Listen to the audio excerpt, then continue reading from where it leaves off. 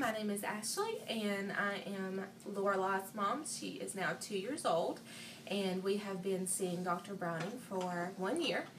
And um, we had actually seen another chiropractor before we came here um, that was not specialized in pediatric care.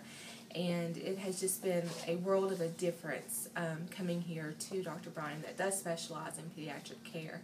Um, her adjustments are so much more thorough and more advanced, and she can just we can just tell a big difference um, once we leave. Um, you know, she actually takes the time and spends with her, and makes sure that she's feeling good. Um, she also has allergy problems and sinus issues, and that definitely helps out there as well.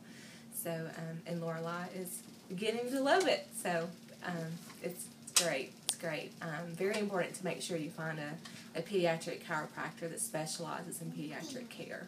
So.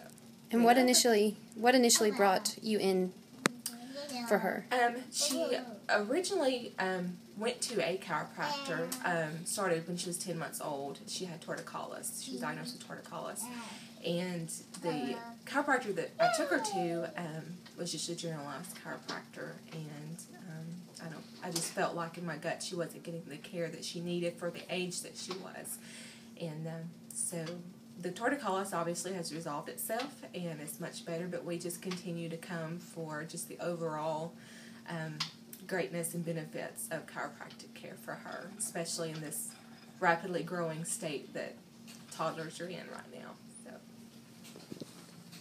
So. and there's Lorali. Hi, Lorali.